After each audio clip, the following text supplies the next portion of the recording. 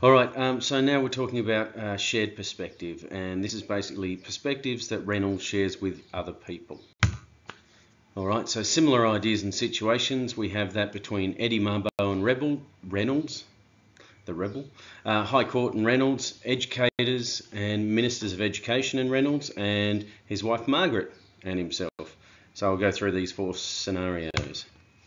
Um, so basically, with uh, the Mabo decision, or Eddie Mabo and Reynolds, um, they share the idea that land should not be taken under terra nullius and should be given back to Indigenous people. So uh, Reynolds establishes that him and Mabo are great mates uh, they're on a first name basis throughout the book. They have lunch together at the uni. Reynolds gave Eddie a research job, even though he wasn't qualified.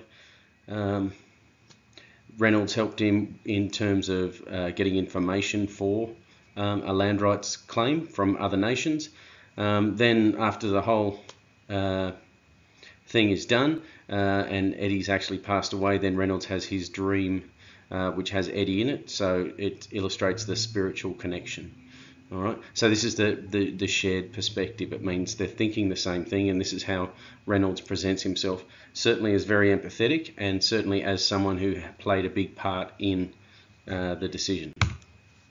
Um, the High Court and Reynolds. Um, this is great for Reynolds because uh, the High Court uh, shares his perspectives in terms of Mabo, native title, and Wik, all of these land rights decisions. Okay, and this helps Reynolds position himself um, on the side of right, uh, reason, logic. Uh, the law is in his favour, um, hence, you know, Reynolds is correct, and sharing his perspective on that uh, further gains the reader his trust. Um, educators and Reynolds. Um, so it's mainly to do with the uh, term invasion and putting that into uh, the curriculum of schools, and that happens in chapter 11. And basically, it's Reynolds saying we need to teach the truth. I'm not the only one saying this. There's educators saying this. There's uh, education ministers. There's a whole lot of uh, education departments and all that kind of stuff. So everybody's on his side, which means it must be, you know, the right thing. So that's how he positions himself.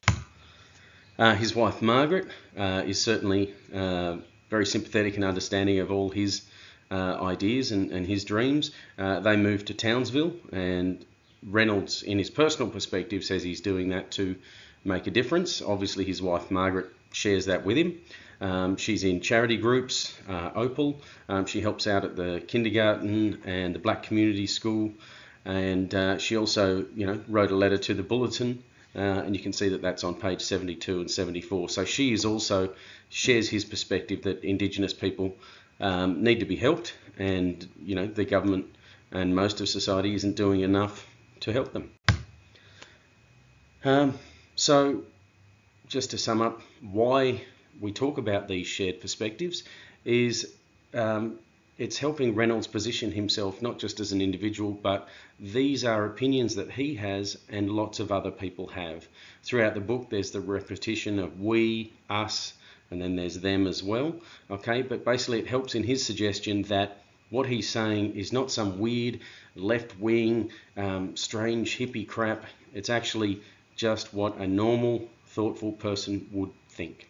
Thank you. Have a nice day.